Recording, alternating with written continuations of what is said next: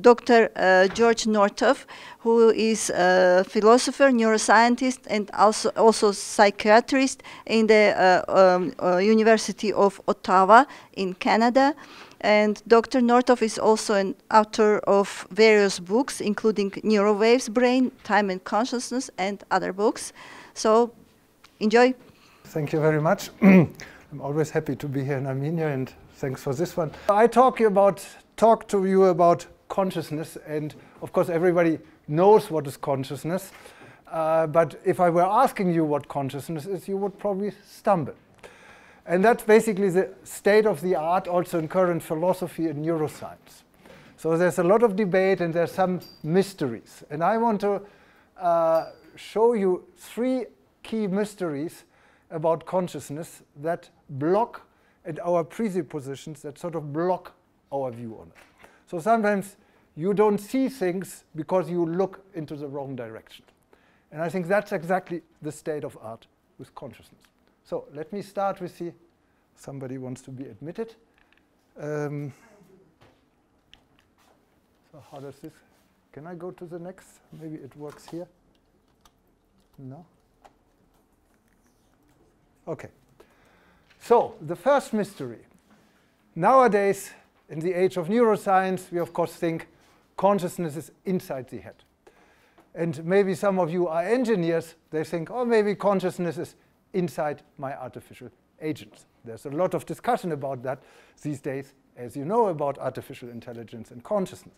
I will come back to that. So we think that consciousness, where we perceive ourselves as part of the world, is inside our brain. And that's the first mystery. So it's inside here, it's not in our relation to the world or outside in the world itself. So let me see, can I do the next one? Yeah, the second mystery. Goes back to philosophy, I will come back to that towards the end of my talk, that we often assume that mental states or consciousness states are something special. Because if you have a feeling of boredom, oh God, another one of those guys talking about consciousness here, that feeling of boredom, I cannot observe it from the outside. I can observe your smile, but I cannot observe your feeling.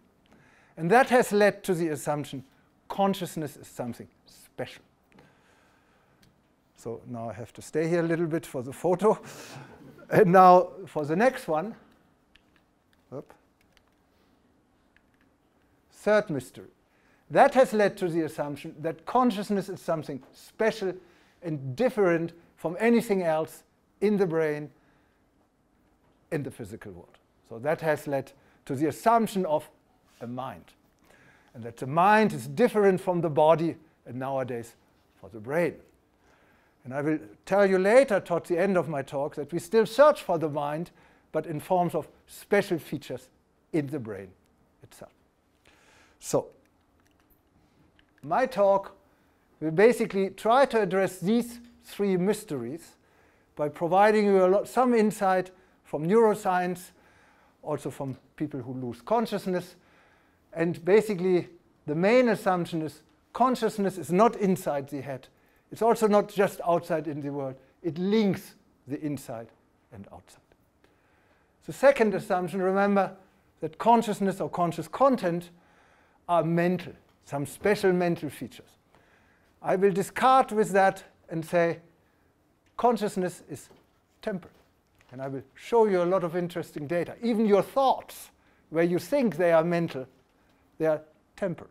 I will demonstrate that.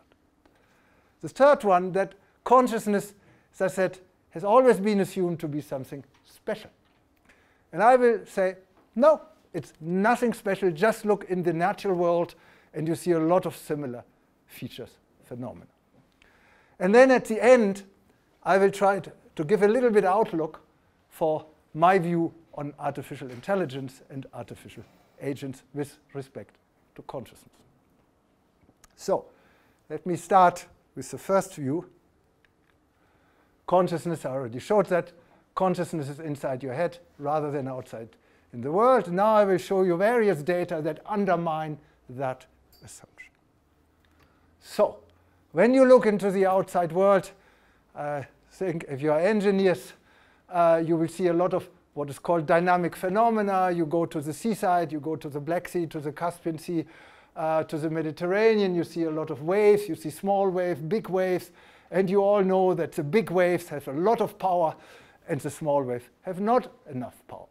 The longer waves, the big waves have a longer duration, and if you happen to be a surfer, you know the dynamics of the waves very well because you need to uh, adapt to the dynamics of the wave to get the groove of the surface.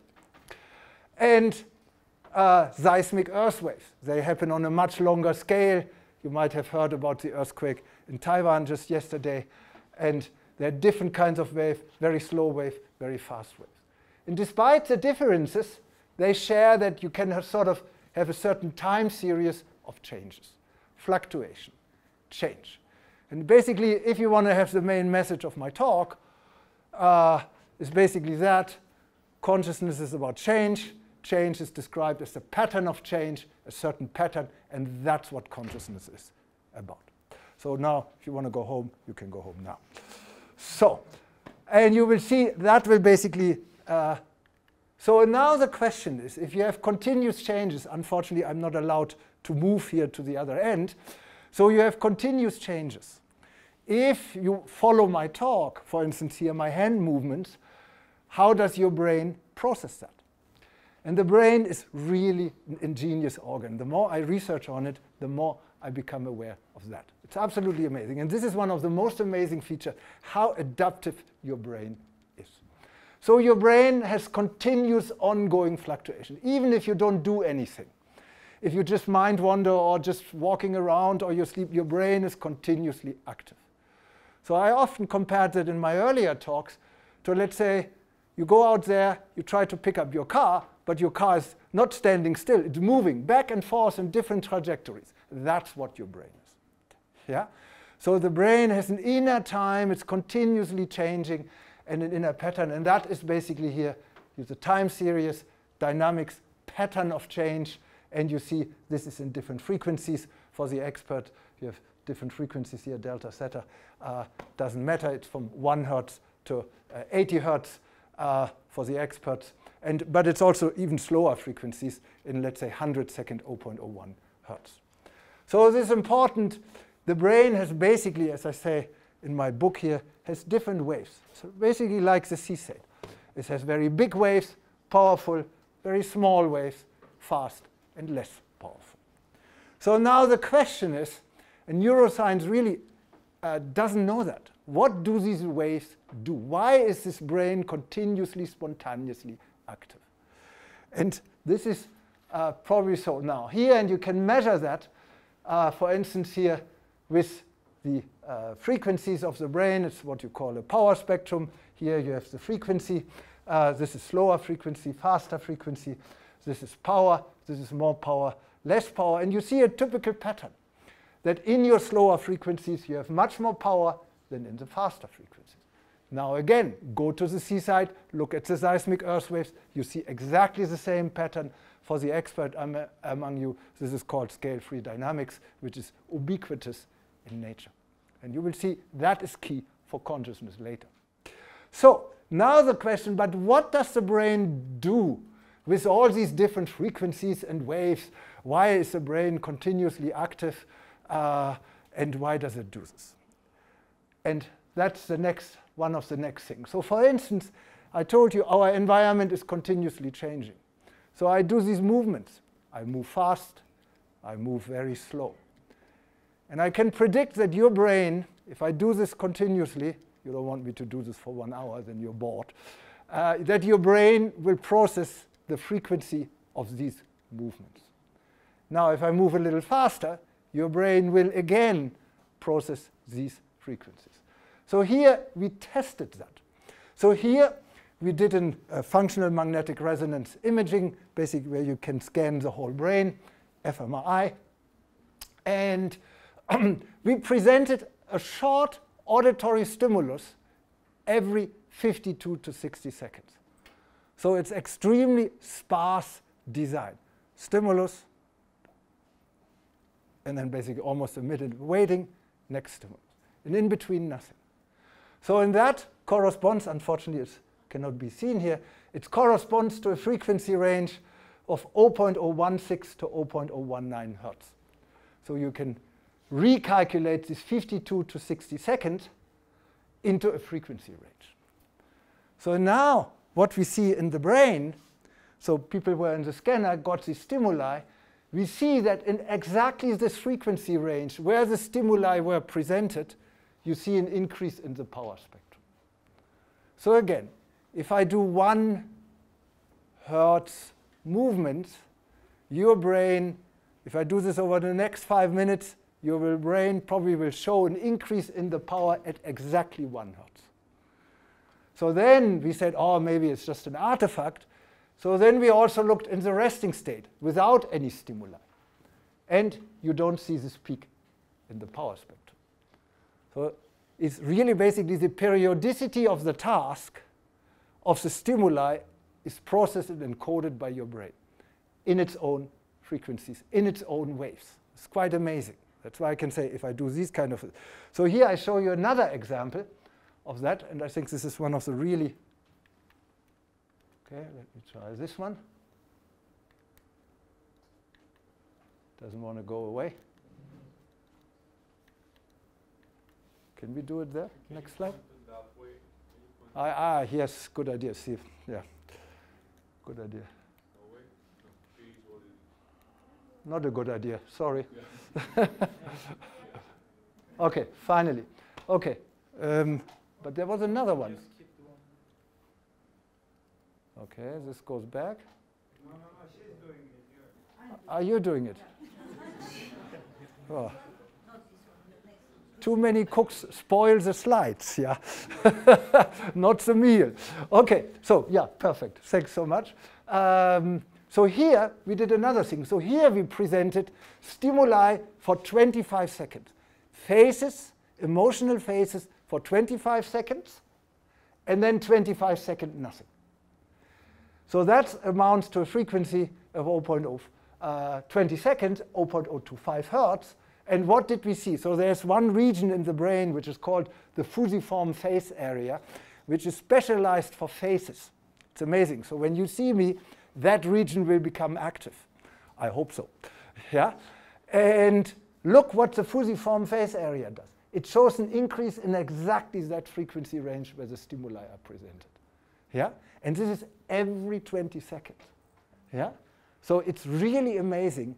Your brain keeps a score. It tracks the frequency of the outside stimuli. And this sounds trivial, but it's not because that's exactly the difference to current artificial intelligence. They do not track the frequency and the temporal structure of the uh, stimuli, the external environment, and that's why they cannot adapt as well. Yeah, so I will come back. So you, you see this, it's quite amazing here. This is a resting state, no such peak in the task. Yeah, resting state, they don't see any phases. Here they see phases, 20 second blocks, and you see this. So now, next one. Or shall I do it? You will. Okay, perfect. So now, how is that related to consciousness? So I often try to say that consciousness is about that you experience yourself as part of the wider world. You can make a difference between yourself and the rest of the world, but at the same time, you experience yourself as part of this room. And if this room would be different, with a much higher ceiling and much bigger uh, and thousand seats, and uh, you would feel and experience yourself in a very different way. Yeah? Because the room in which you're situated is very different. And that affects your consciousness. So consciousness cannot be inside the head. So here, that's why we tested this. So here we had people first in the wake state and then in the anesthetic state. And here, this was yet another study. So here we again, every 20, uh, 25 seconds, you see here, this is the uh, frequency in which the stimuli were presented, and you see the increase in the awake state. Now, same subjects go into an anesthetic state, lose their consciousness, and that's what you see. Yeah, completely flat. And also, for the experts among you, the engineers or physicists or others, uh, you see the typical scale-free activity here, more power in the slower frequencies, less power in the faster frequencies, and you see it's completely flat here. This is basically what you call, whoops, white noise, this one, not, yeah, this is also noise, slight noise. Uh, so here, this is basically white noise because it's completely flat. Hello, he's from Taiwan.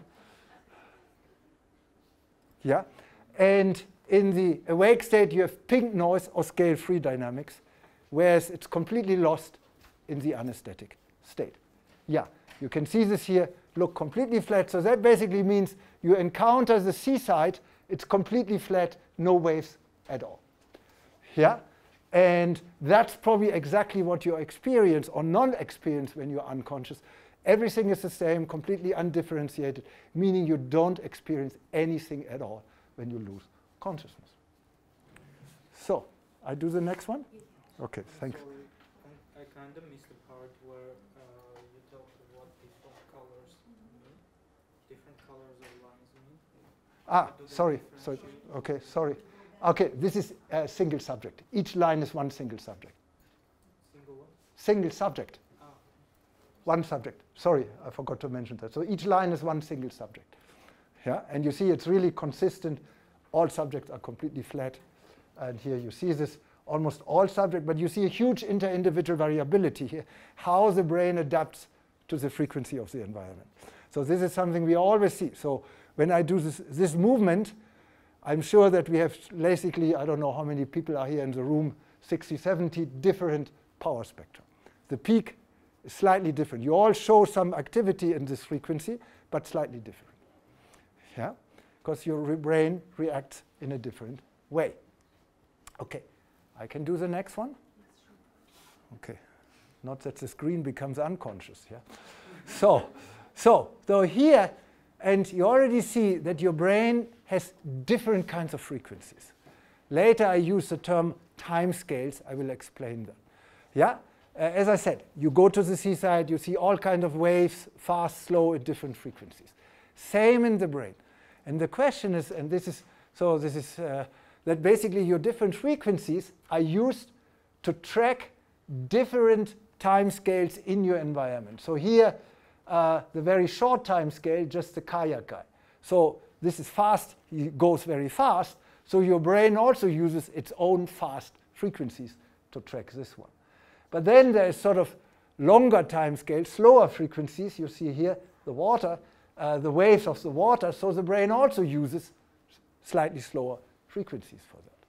Yeah, and then very slow frequencies in the background, it uses its own frequencies.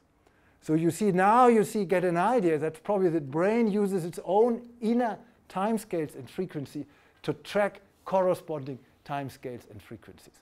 And when you would decompose even my behavior here over time, let's say you, you have come some kinematic measures here on me and you uh, later uh, do a fast Fourier transform and make a power spectrum of all my movements, you will see quite a variety of timescales and frequencies I'm using. And that's really amazing. Yeah? And you will see that the more frequencies the brain itself has, the better the brain can track uh, the environment. And that makes your consciousness. So your consciousness is basically multi-layered, yeah, of a foreground layer, intermediate layer, background layer, and these are different timescales. Yeah? So it's multiple layers uh, of different times, and that's actually also what you experience. You do not just experience me, uh, my face. You experience my face, my body. You experience I'm uh, standing here in front of the table. You experience the whole room. So it's a foreground, background with multiple layers in your consciousness. Yeah. So, um, so now I need to do this. Ah, so I need to do this. You will push the right button for me. Sometimes the brain is easier than all this technic- technical stuff. So now the questions. How do you experience this sort of tracking of the environmental frequencies by the brain? Uh, so what do you experience? Now imagine uh, we would play music here, very rhythmic music. Um, I don't detail because all your musical tastes will be different. But let's say it's very rhythmic and you really go with the melody, with the tune and the rhythm of the music, and you feel a certain synchrony and groove. Yeah? And you feel good about it. Yeah? So that's basically synchrony. So here we indeed, just on the psychological level, we it's a large-scale study with 1,000 subjects, and we tested, we asked subjects uh, how much they feel in synchrony with their own self, with the body, with the environment, and with the other.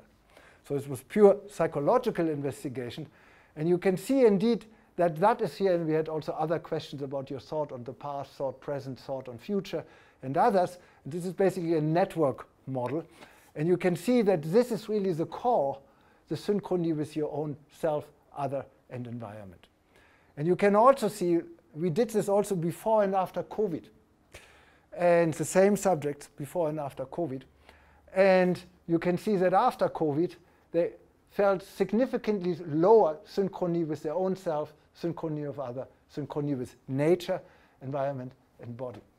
And that was also related, which I don't show here, to higher incidences of anxiety and depression.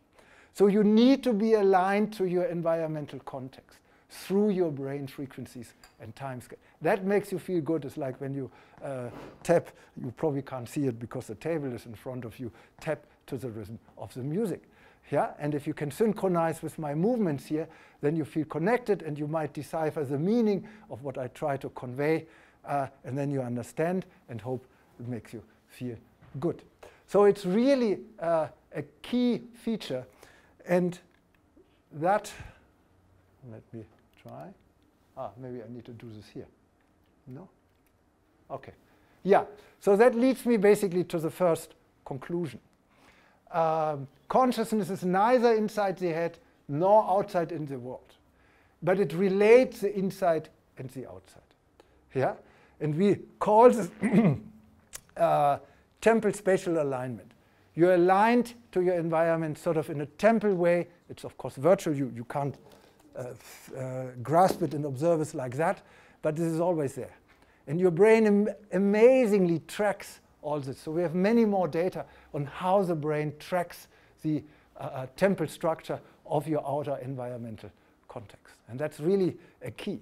So that means that consciousness is not inside your head, it's really neuroecological or relational, as I like to say. Yeah? So relating to the outside of the, the outside world through adapting the dynamics of the brains inside.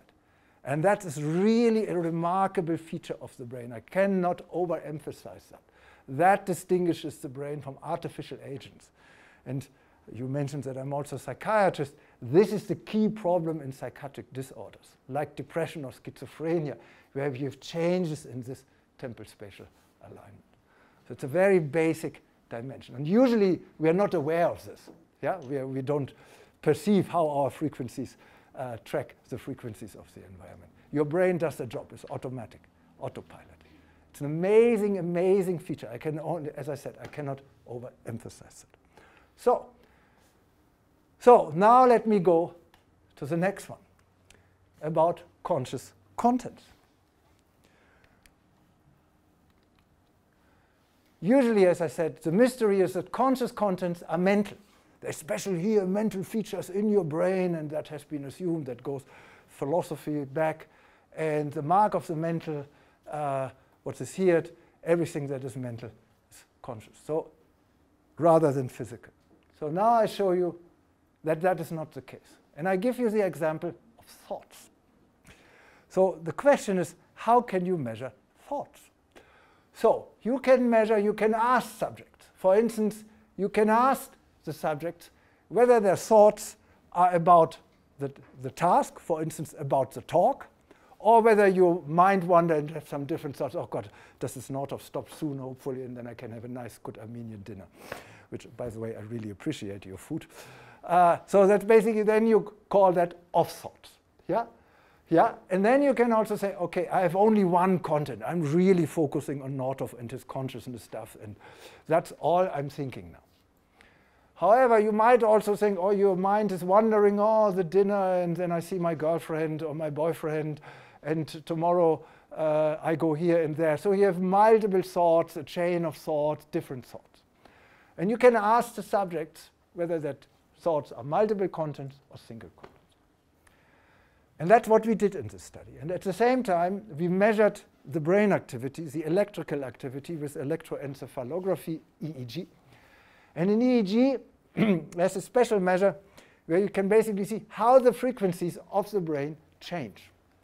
Yeah, whether they're high or low, and at each time point, how your frequencies change, you will see the uh, slides uh, results in the next slide, which is called frequency sliding. Yeah, so and with that, we try to track your thoughts, whether they're on or off, whether they're about the talk here, the consciousness, or you're somewhere else. And whether you have multiple or just single thought contents. So this is a difficult uh, uh, uh, slide, I know, but what we basically can see, we can really see that, uh, let me explain you this one. So this is about the, uh, for the expert, is the alpha frequency, is a faster frequency between 8 and 12 hertz. Uh, and you can see that here the um, yellow line is basically your on thoughts and your single thought. Yeah, that's the brown line, or yellow, whatever you call it. And the blue line is the off thoughts uh, and the multiple thoughts. We group them together. I'm sorry, yeah. Can you, can you please uh, define what is thought in terms of biology? I'm just doing that. Just give me a second and then I come. Yeah. Um, so here you can see uh, the yellow or the brown line are the on and single thoughts, and the blue are the multiple and off thoughts. So these are the blue lines are the thoughts where you wonder, you're not interested in the talk, your thoughts wander somewhere else. Here, the yellow line is basically you really focus on trying to understand me.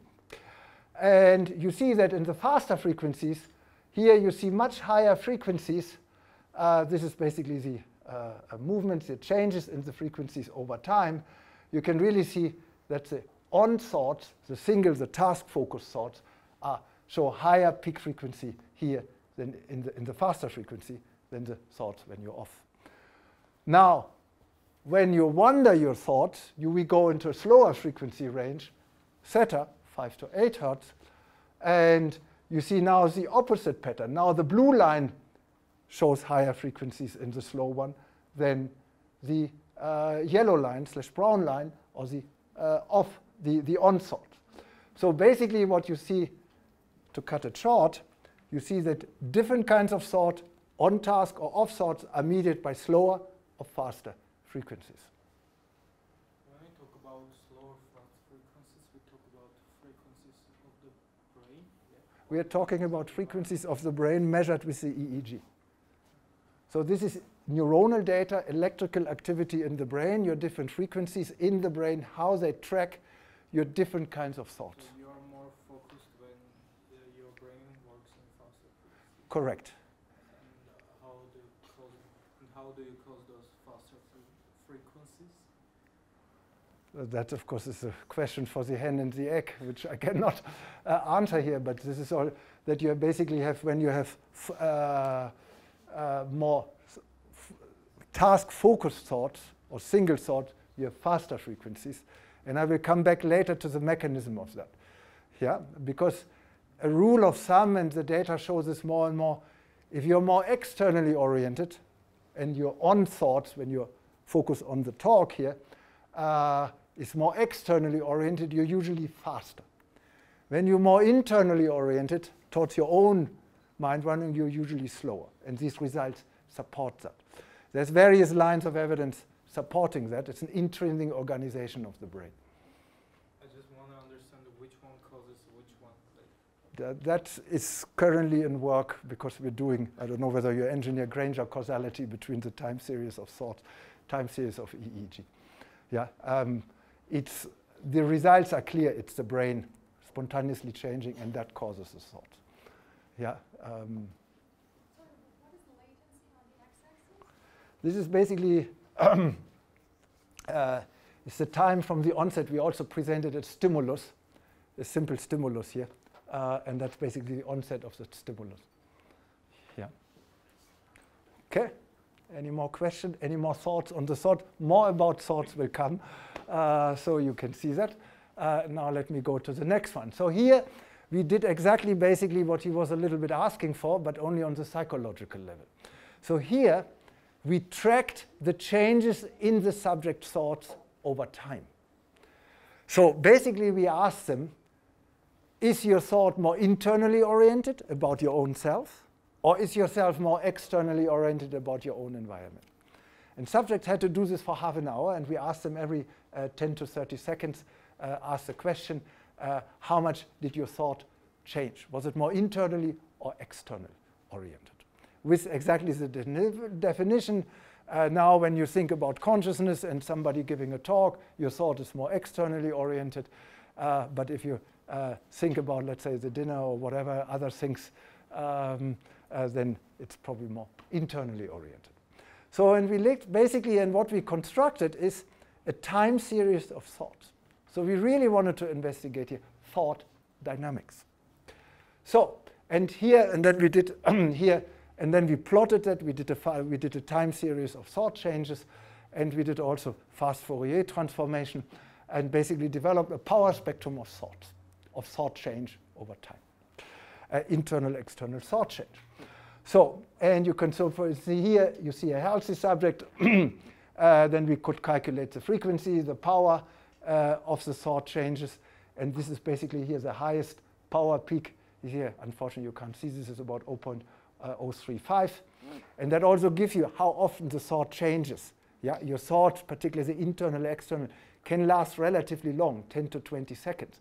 Yeah, but that is probably superseded by faster thoughts. So probably you have also different layers of thoughts according to the time scales. But that's a hypothesis. We're working on it. So what you see here, you see a good power, uh, and you see changes, and you see frequencies. Now look, this was done also in seriously depressed patients. Patients suffer from major depressive disorder, seriously depressed. And you may know that these patients are not only depressed, but that they also show sort of ruminating thoughts, thoughts which are, as you see in my hand movement, circulating. It's always the same and nothing changes. When you ask severe depressed patients, they tell you nothing changes and it drives them nuts. Yeah? So imagine that you have the feeling nothing changes. And that's literally also the state of your brain. Also nothing changes. And you see this here, look at this power spectrum. There's no power. Yeah? They feel they have no energy. That's also what they often report. They have no power, and you see very uh, slower frequency. They were also much slower in their frequency. You can read this in the paper. So that's why we coined the paper Slow and Powerless Thought Dynamics relates to the rumination and the brooding to the thoughts and depression. So you can also construct a time series of your psychological measures, which is really new thing, and that is something we're doing more and more. So you investigate the dynamics of your thoughts and your psychological functions. So now here, show you a third example to make my point, uh, how temporal features determine your thought. So this is a study on meditation. Um, so here uh, you have different forms of meditation. So here you have the shunya meditation where you don't focus on any specific object at all. So this is something we're doing with India. Um, so where you don't focus on any object at all, you just let them pass by. You not get involved, you don't attach, you don't focus on a particular thing. You just basically you just sit in front and the river flows and you don't care, just passing by. You don't get involved. You don't focus on anything particular. And you just let everything fly by. Then you have the other meditation, this is here, uh, uh, uh, Supranya, uh, where you focus on specific body parts. So here your attention is really focused on specific objects. This is indicated here uh, uh, on specific objects like your different body parts. So now the idea, are the different numbers of the attended thoughts in these two meditation techniques related to different time scales or inner durations in the brain? As you said, everything is about frequencies. Frequencies is about duration. Let me drink a little bit in the meantime. Um,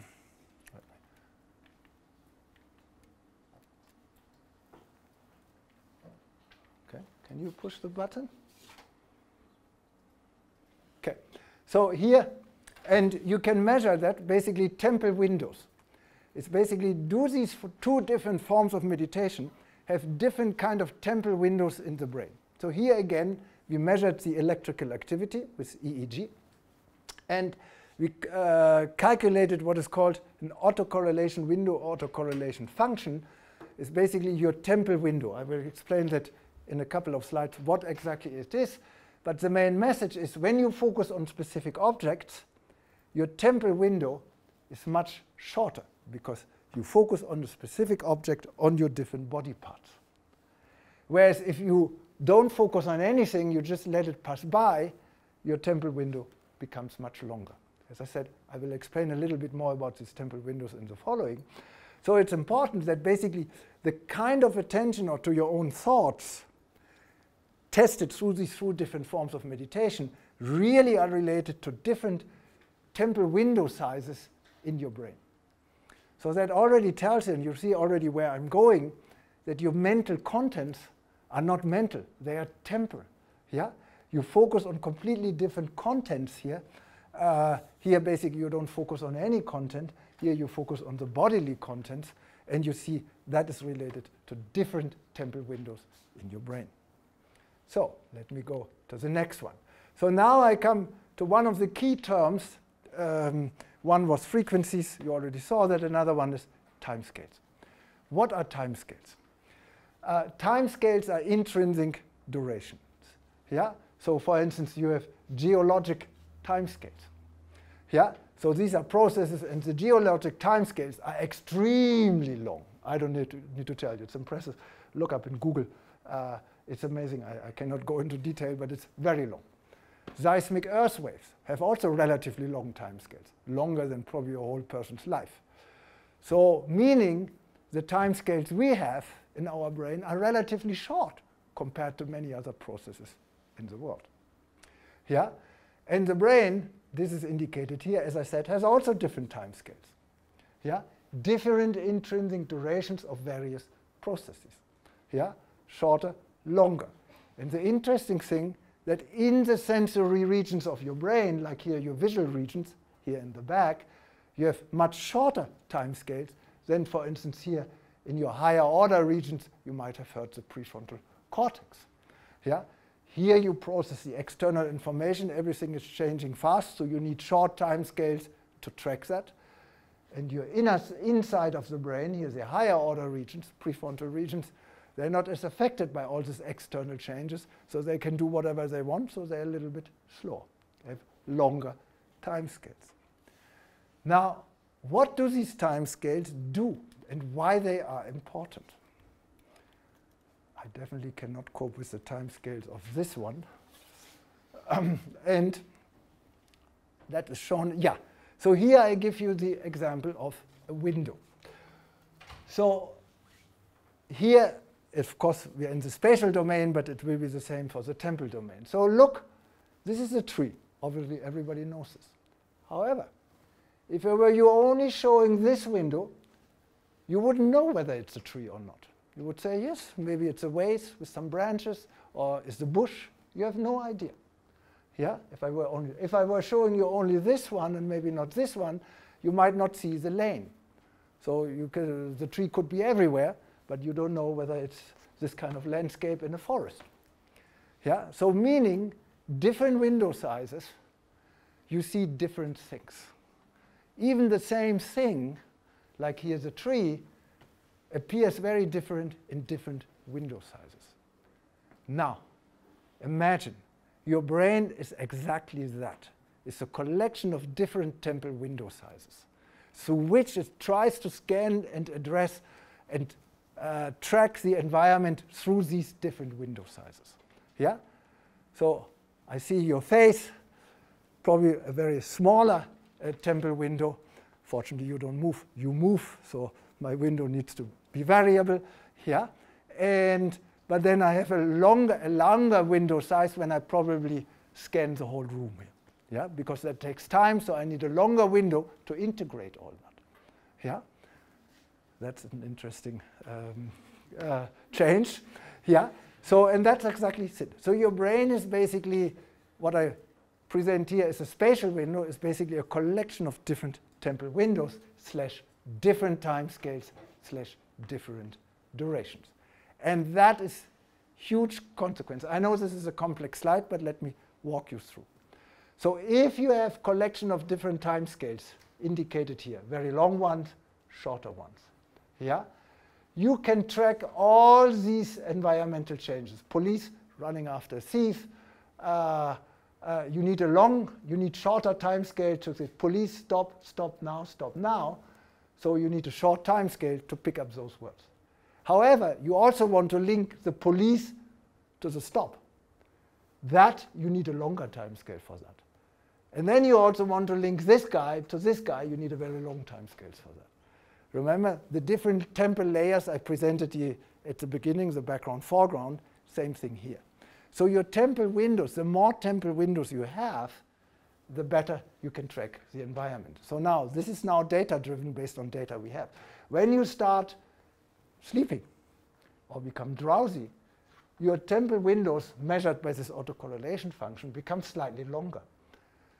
So we would assume that then your perception becomes more blurry because you're missing the shorter time scale. You cannot distinguish between here, police, stop, and so on. Yeah? Because it's just put together into one. Now, your time scales become even longer, second sleep stage, and you are sedated. Now I need to water a little bit. And your autocorrelation, your temporal windows in the brain, your time scales become even longer, and the shorter ones are missing even more. So it becomes more and more blurry. Now, when you're in deep anesthesia and prolonged disorders of consciousness, your time scales are extremely long, measured by the autocorrelation function, so you cannot integrate anything at all, it's completely dark. Yeah, it's no differentiation anymore. Yeah, These are, of course, assumptions. This is all based on data. Yeah, Unfortunately, you cannot ask an unconscious patient what she or he experiences or perceives. But that's basically an inference from the time scales. So you see how you, the uh, seemingly mental contents are in truth really temporal content, temporally shaped. So now here I give you some more details. Let's say here is your external input, and this is the actual physical duration of your input. So I do this, I do longer input here. And this is the length of your brain, of your time scale in your brain. If it's sort of medium long, you might put these two inputs together into one. So you will not perceive a difference between these two finger movements. But you can distinguish this finger movement from my arm movement. Yeah, because your temporal windows are short enough to do that. And you have two different forms of evoked activity in the brain. Now, if you have a very long temporal windows, you put everything together. So you cannot make a differentiation. Yeah? You put everything together. Yeah? Then you would not experience a difference between the different timings, the different events in your environmental context. And indeed, we have various papers, including brain imaging, as well as a lot of computational modeling, where we can really show this. What is the longest scale of Depends on the frequency range where you measure. So if you measure it in fMRI, you go from 100 seconds to one second uh, to 10 seconds, so it's in that range. If you measure in EEG, it's on faster frequencies, uh, 1 hertz to 80 hertz. So it's relatively short. It's in the millisecond range. Really depends on your measure instrument. It's relative to that. Yeah. So conscious contents are not mental, but they're temporal. This is a very daring hypothesis because philosophers will not like this. But they're really temporal. We have a lot of more and more supporters coming. I wouldn't have said this two years ago, but we have more and more support set because they're shaped by the intrinsic duration of the brain's time scales. And the better, the larger your repertoire of different time scales is. Yeah? You have faster, slower frequencies, longer, shorter temporal windows in your brain. The better, the more sophisticated, the more complex you can track your environmental context. Yeah? So that is really, so it's your range of your time scales. So it's a repertoire of different time scales, and that basically shapes your conscious content. And another thing which I do not report here, these time scales you have are probably also shaped by your environmental context. Yeah, so that's probably why we all are in a different environmental context. There are cultural differences, as we all know, and that also why we perceive things in a slightly different way. So, Now, let me come to the uh, third point, uh, which is more sort of on the theoretical side. Consciousness is non-special. So I think I already mentioned that consciousness is special. That's the assumption from anything else in both brain and physical world. So that's why uh, here you can see consciousness is special and everything else is distinguished from non-consciousness or unconscious, non-special. So and that goes philosophically, when you go into Western philosophy, it goes back to René Descartes, uh, who assumed a mind as distinguished from the body and the brain. And he assumed that the mind must be special, because, as I said initially, we cannot observe it, the mind like this book. So I cannot observe your thoughts as such. Yeah? And you cannot observe them in that sense also. You can introspect, but there's a long discussion about that too. Uh, but that's basically it. So now, of course, you say, no, no, no, no, the mind is... And interestingly, that specialness is still prevalent even in our time in neuroscience. So of course, now we assume, yes, it's in the brain. Consciousness is related to the brain and not a separate mind anymore. However, then they assume, and many neuroscientific theories of consciousness assume that um, uh, special neuronal features within the brain, special neuronal mechanism underlying consciousness as distinguished from all other mechanisms in the brain. So the substrate has changed from mind to brain. But the specialness, that consciousness is something special, is still preserved because they assume special neuronal mechanism only for consciousness. Yeah? So, and then of course you focus, that implies that you focus, okay, what is the difference between the non-conscious brain and the conscious brain? Yeah? So you focus on the differences. So you assume a special mechanism. Don't know, some of you might know the integrated information theory assumes, uh, IIT assumes integration, global neuronal workspace theory assumes uh, a global workspace, and so on. I could say the same for many other theories. So the specialness, originally from philosophy, is still preserved in current neuroscience. Always puts a smile on my face uh, as a philosopher. So then you might say, yeah, maybe we can also approach this in a different way by saying maybe we look for what is similar. What is similar between the brain and consciousness? And you already saw a lot of examples. You saw the temporal dynamic, you saw the dynamic pattern, you saw the time scales, you, you, you saw the frequency tracking of the environment. Yeah? And all that is lost when you lose consciousness. So that's why I say maybe consciousness is nothing special.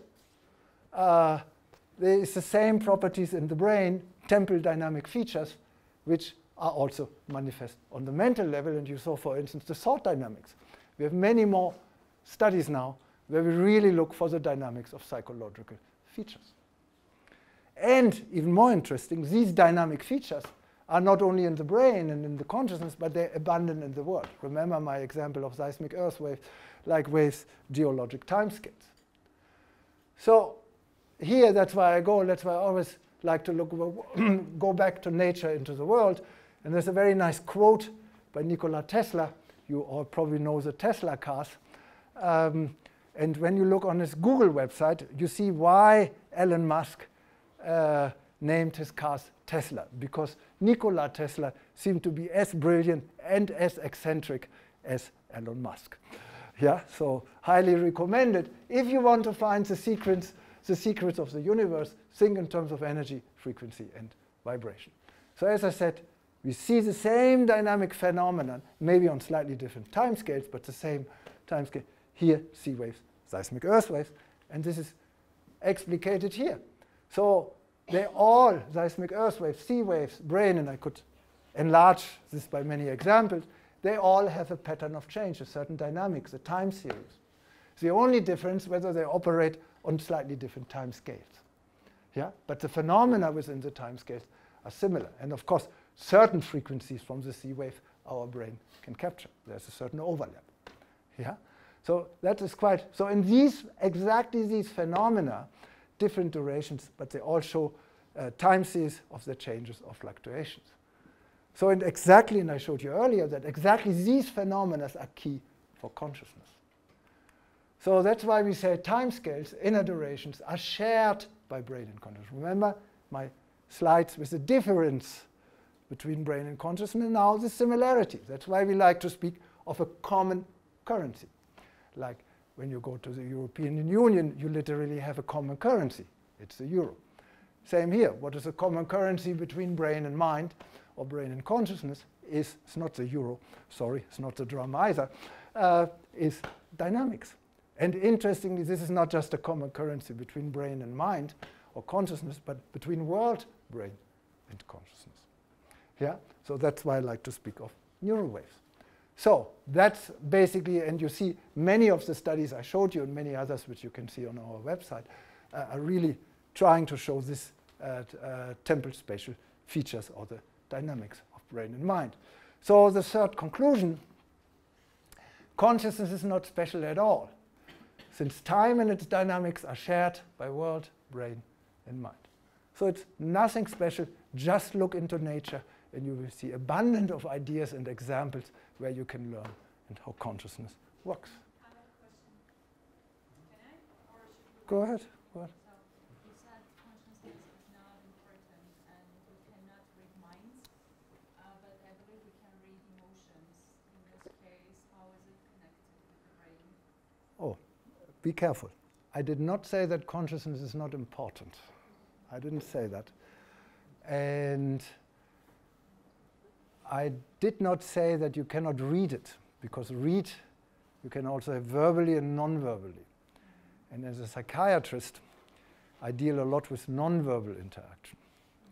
So you can read the behavioral manifestation of some inner mental states, particularly because it is relational, because it is tracking the frequencies.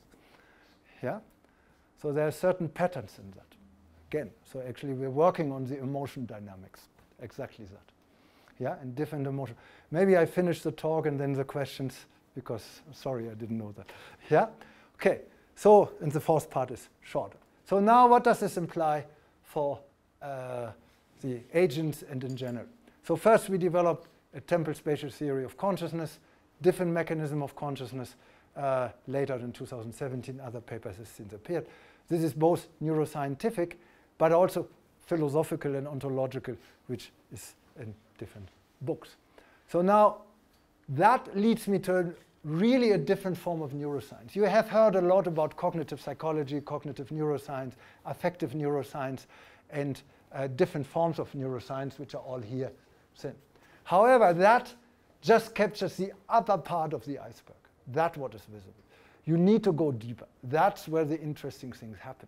And as you know, if you go to the bottom, the bottom of the iceberg right in the water is the basis and fundament. If that major changes here, everything will change here.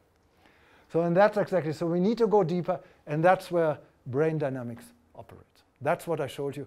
And it's not trivial because it's not a random process. Yeah, there's a certain structure. And that structure, that's why we, I like to work with engineers. We really go uh, into that uh, structure, different measures for that structure, like scale-free activity, autocorrelation function, and so on. That's what we call spatial temporal neuroscience. And that shapes these kind of different functions, including the emotions.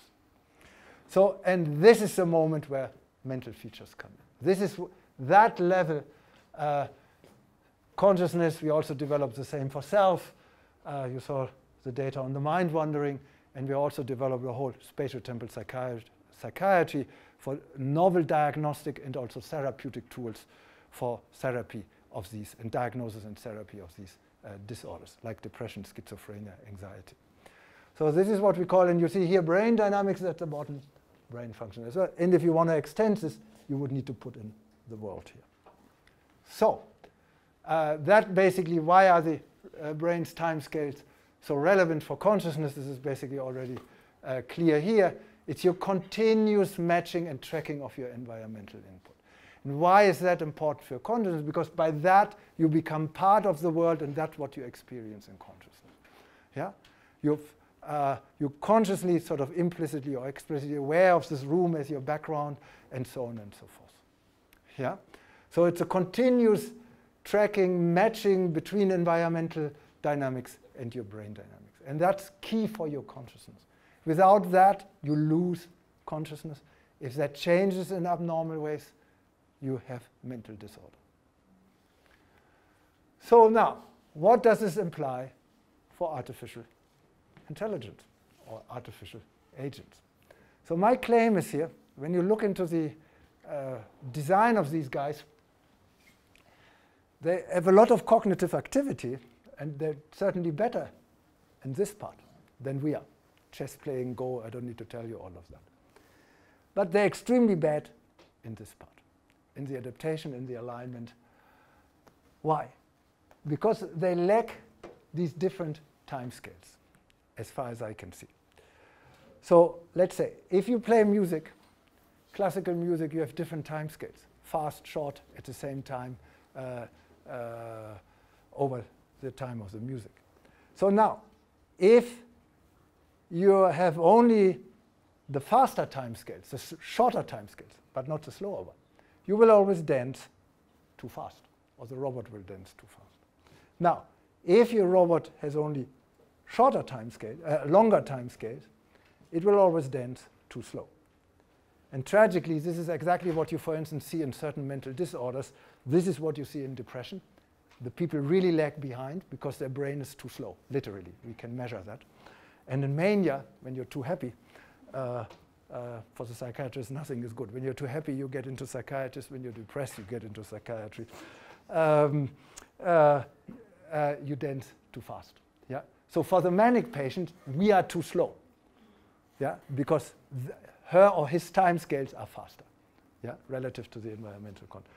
So, so you need a repertoire of different time scales. Yeah, you need different layers of time scales, as I like to say.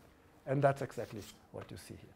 So my assumption now, next slide, is these agents do not have time scales. We worked, yeah, they do not yet show consciousness because they do not have time scales. They're not temporal in that sense. They don't have temporality. And therefore, they cannot track and link and align to the environmental context. And if you can't do that, you lose consciousness, as I showed in my anesthesia patients and many other data. So you also see I included the yet here. So meaning this is not a principal argument because I am very interested in agents with timescales. Why? As a psychiatrist, because I would like to have these kind of agents with timescales to treat my patients abnormal timescales. Yeah? So that's sort of the idea. That's why I'm very interested in that. it still lacks the brain's inner time and timescales that allow for its matching and alignment with the environmental dynamics. That is key. Yeah? And you saw the initial data. I'm completely fascinated by that, that your brain really tracks the rhythm and time scales of your environment. I mean, it's an ingenious evolutionary matching because the brain adapts, but at the same time, it keeps itself stable. Yeah, by that. It, it stabilizes it through reaching out to the environmental context. Like in a relationship. You stabilize yourself through a relationship. Yeah, same thing. And your brain is much more clever than us and knows how to do that. It's amazing. Yeah? This is really amazing. And I see the consequences as a psychiatrist on a daily basis, yeah, if that doesn't work. Yeah? So, uh, there are huge philosophical implications. I don't want to go long into that. You might have heard about the, what is called the hard problem, um, uh, that basically there's a, a gap between brain and consciousness. And I think that gap is no longer there once it's clear. There's a dynamics uh, time is a common currency. And the same goes for the mind-body problem, which is basically then a problem of how world and brain are related. And with that, I, I come to the end of my talk. Uh, I hope that I can at least uh, trigger some thoughts in you and maybe change your thought dynamics a little bit so that you get some other ideas about consciousness, that consciousness is nothing special. It is just a temporal feature of how world dynamics and brain dynamics connect with each other. You can see this, this is a textbook which is just about to come out here, a bigger textbook on spatial temporal neuroscience. This is more for broader audiences, neurowaves, and thank you very much and enjoy your consciousness.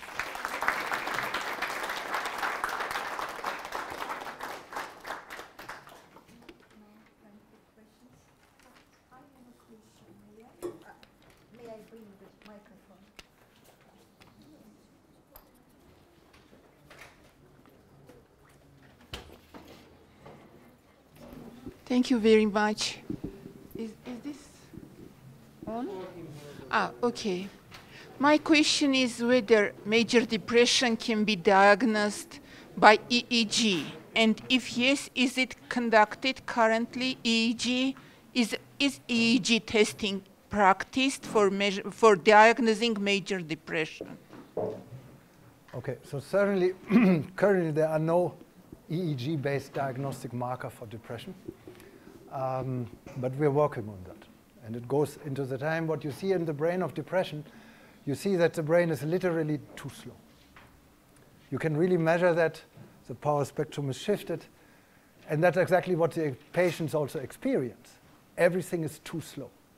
So we hope that this is sort of a temporal marker which we can measure in EEG, in fMRI, and also on the psychological level. Also, the visual perception is too slow.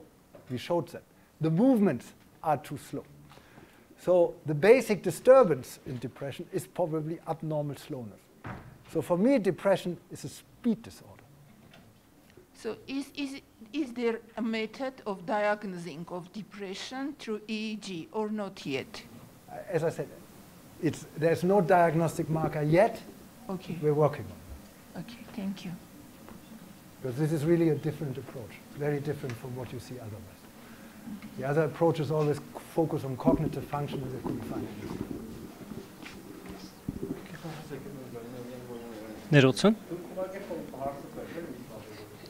Well, thank you very much for this very interesting talk. Um, I wonder if I may ask, what do you mean by mental?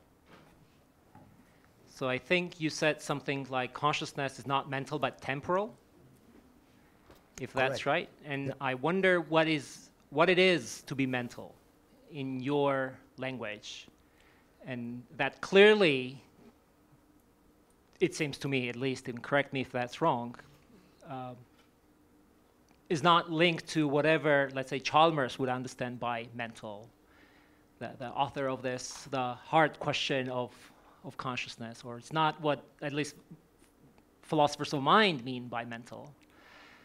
Or if it is, I do. then then that would be very helpful how you would explain what mental is and how is it possible that consciousness just because it's temporal it cannot also be mental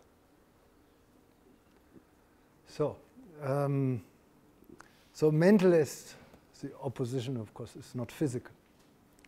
Yeah, so that's basically the original dichotomy of mental and physical.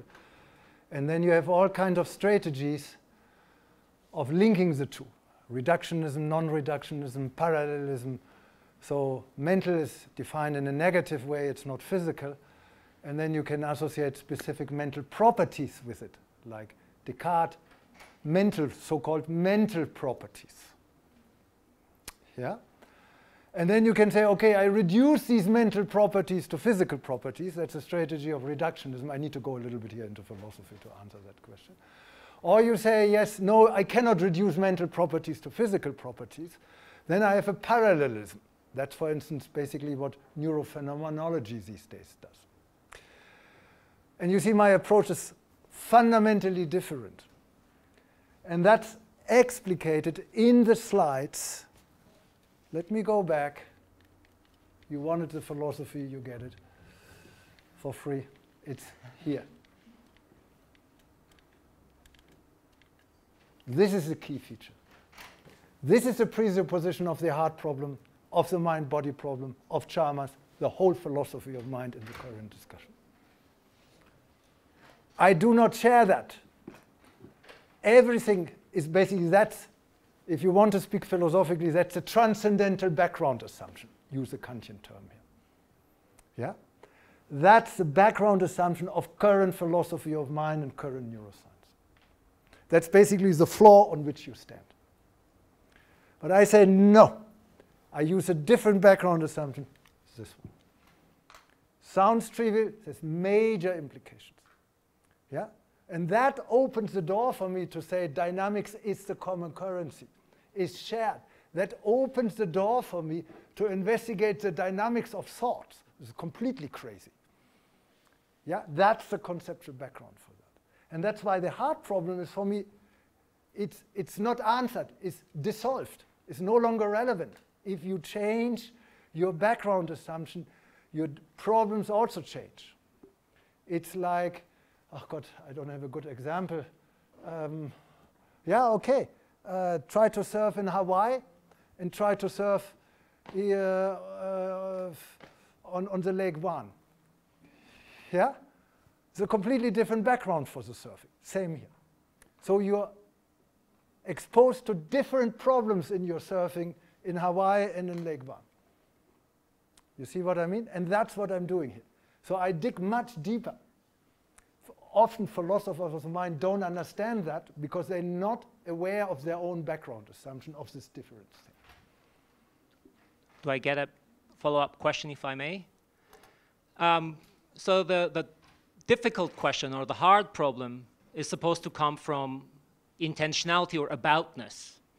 So we experience, experience as if our thoughts are about something else. Like my thought that is not you is about you. How can a mm-hmm. frequency, whatever its hertz or whatever, how can it ever be about something else? That's question number one. That's one of the sources of the hard problem. And the second problem, I'm sure you're aware, just to voice it for the class, maybe that would be interesting, is the phenomenal feel. It feels somehow, let's say, to be bored. So if consciousness is purely some kind of frequency, it turns out that if you produce that kind of frequency everywhere, that thing that has that frequency must feel bored. Or so it seems that you're led to believe.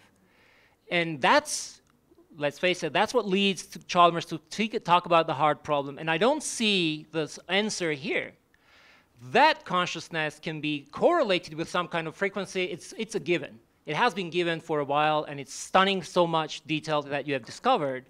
But I don't think that answers the philosophical problem. And if So I'm making lots of mistakes, I apologize, looking for all the correct answers. Thank you so much. So again, this is a transcendental background assumption. So I, and I explicate that by your first example of intentionality. What is intentionality? It's exactly it. It's about something. Now, make a Kantian move here. What does this presuppose? In order for intentionality, my thoughts to be my thoughts to be about something out there. What does this presuppose? A relation. And how is this relation constituted? I showed you an example. I do not deny intentionality. I don't reduce it. You don't you get me wrong. Reduction is only the possibility, the possible option, uh, the conceivability, as philosophers say, is only here an option, reduction versus non-reduction. The question of non-reduction is nonsensical here. So I do not cash out your intentionality against my frequencies. What I say, I see what does intentionality presuppose? If there were no relation between my inside and my outside, intentionality would remain impossible. Yeah? Otherwise, your thoughts cannot be about something outside the thoughts themselves. So I look for a deeper layer for that what it necessarily presupposes. Yeah? The first, my answer to that. The second answer to your feel. You're right. So you misread me because you misread me in terms of reduction or non, and then you cash out. No, no, no. It cannot be just frequency. Uh, you cannot reduce that. But that's the scheme of this one. Reduction is not conceivable in this one. It doesn't raise the question. Read the introduction to my spontaneous brain, 2018, MIT Press. Second, qualitative feel. You're right. I didn't address that. But that's its transformation. So you say, no, no, no, it cannot be, and then you cash out a hard problem. I say, no, it's a process of transformation. Give you an example. I'm living in Canada. Water, you know, water is trivial, it's H2O. You know the chemical formula. It transforms from fluid into vapor into ice. Yeah? So if we weren't, and these transformation are dependent upon the environmental context, whether it's hot or warm or whatever. And if we weren't knowing that all these three states are related to the chemical formula at H2O, you would say uh, it's, it's a different thing. That's exactly what I'm saying. Under certain dynamical context, you have a transformation of your neuronal activity into phenomenal activity, slash what you describe by qualitative feel. Yeah, I tried to do this first in Unlocking the Brain, Volume 2 Consciousness 2014. Now we have many more data on that. Yeah, so it's a completely different approach. And that I agree that transformation I didn't show in detail here. I provided some indirect evidence for that, but I didn't tackle it directly. You're right in. But you already see here, I use transformation. It's a completely different approach. Yeah, that is based on the similarity. Yeah, and transformation would basically now the actual process. Yeah, if you have this, you would not even come up with transformation because it would not be conceivable. It's not in the options given by your transcendental background. Sorry for going too deep into philosophy here, but it's needed. So it's a completely different framework. If you judge it with the criteria of your philosophy of mind, you will not understand this. And you will say that everything what I say is nonsensical and meaningless. Yeah, I know I'm going fast, but I interpret you. I, I know this. Yeah, trust me, it took me many, many years to understand this. Yeah, it really depends, as I said, whether you surf in Lake Van or in Hawaii. It's a complete, you're challenged with different issues in your surfing. Yeah, same thing here.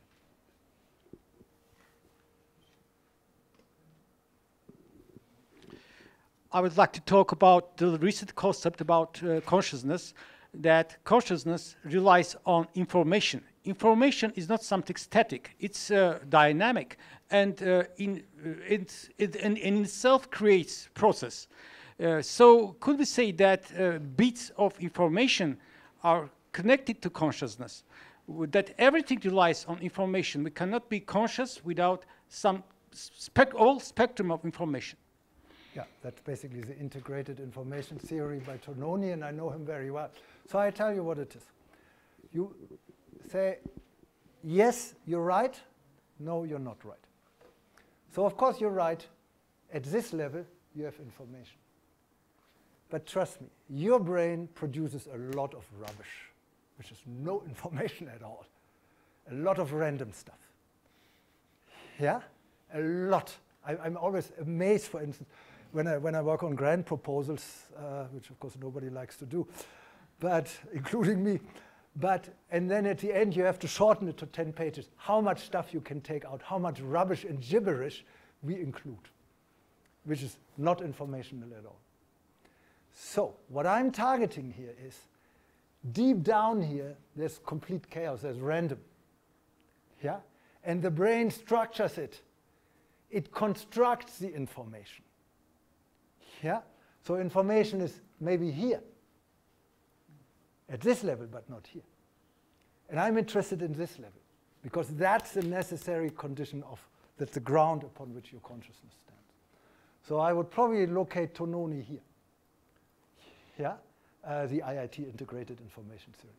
Yeah? And you see, for instance, again, mental disorders, schizophrenia, they suffer from insufficient constructing information or wrong information.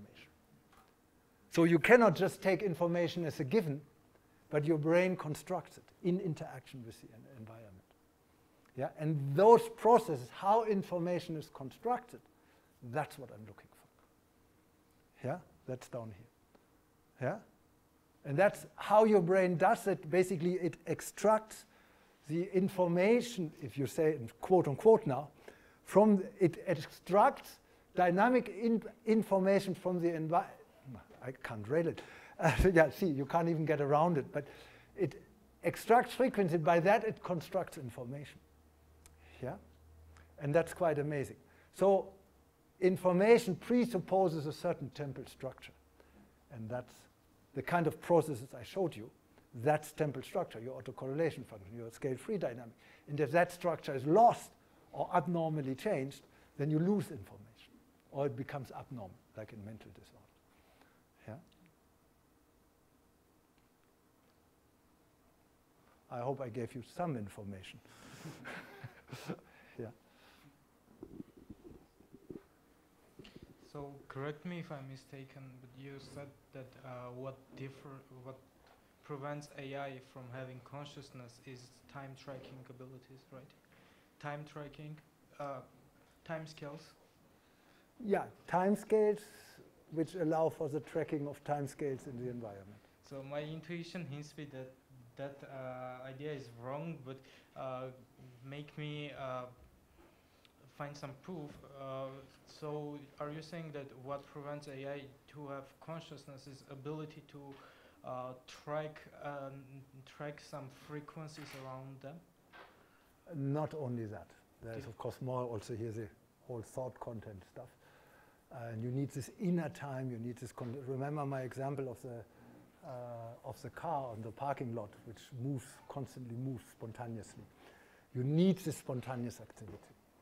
Yeah, um, that enhances your spontaneous pattern and your dynamic range of that. And the larger that is, the higher the likelihood that you correspond and match with something in the environment.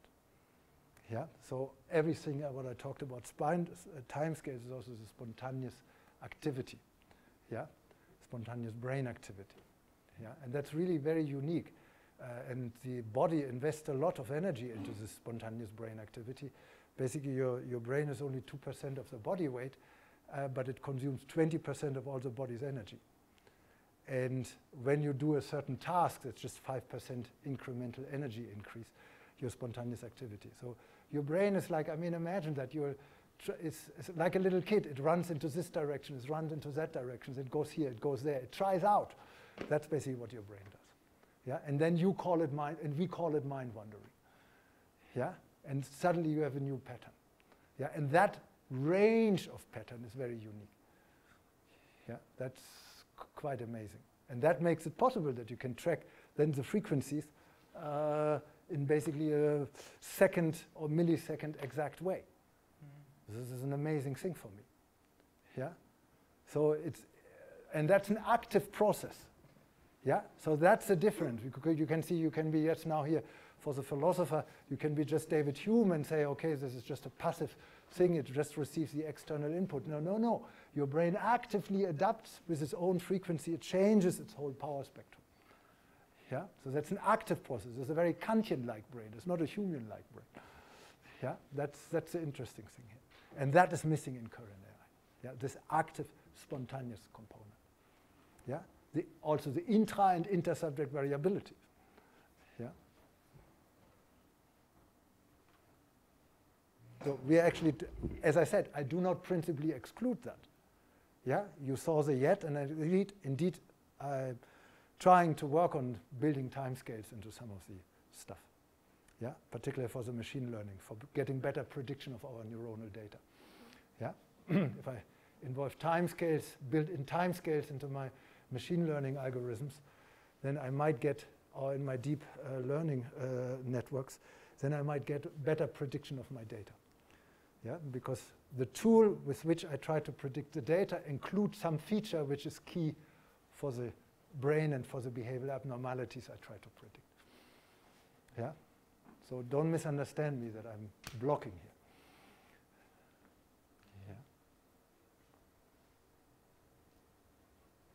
Yeah. A question, quick one. Uh, quick and a short answer. I, I, I hope so. Um, uh, when measuring the, the frequencies of the brain activity, I was wondering what part of the brain was studied. Yeah, good question. Um, um, um, really depends. If you study sensory processes, visual perception, dynamics of visual perception, of course, you look for the visual cortex. Um, for the thought stuff, that was mainly EEG, where the regions and source localization is usually more difficult. Uh, usually, we look at the brain not in terms of regions, but in terms of topography. So, topography is a concept which comes from geography. It basically describes the lines. And so you have certain ways of how the different regions stand in relation to each other. Yeah, and that's probably key. So let's say if you have the same level of, um, let's say, activity in occipital cortex, but you have different activity levels in uh, prefrontal cortex, you will perceive different things. So we consider the brain, we are holist, as we say, or really in a topographic way. And interestingly, the brain has indeed some intrinsically preformed topographic organizations. I showed them, for instance, here, uh, going back to my beloved examples of time scales. Where is this? Okay, it's here. Must be there. Go back. Oh. Here. You see, for instance, as a repertoire of timescales, and you usually see longer, shorter timescales in your sensory cortex, longer timescales in your prefrontal cortex. And that's a gradient.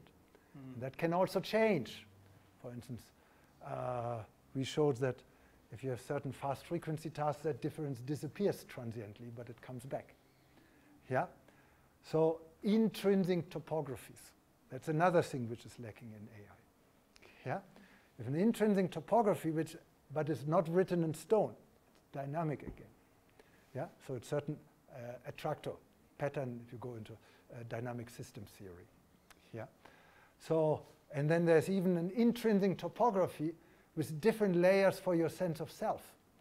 It's a set of regions, different layers, each layer different set of regions which are in charge for your interoceptive inner body self, outer body self, and for your mental self. Yeah? So it's basically written into your brain's organization between the regions. So you will never get an answer for me, it is this network or that region. I consider this in a whole, overall relative topographical context. So you collected data from different parts and made an average, is that right? Or for every different uh, questions you studied different parts? I still no, miss the key answer. I still, for instance, look in depression, I not only look at the prefrontal cortex, but how it relates to the visual cortex.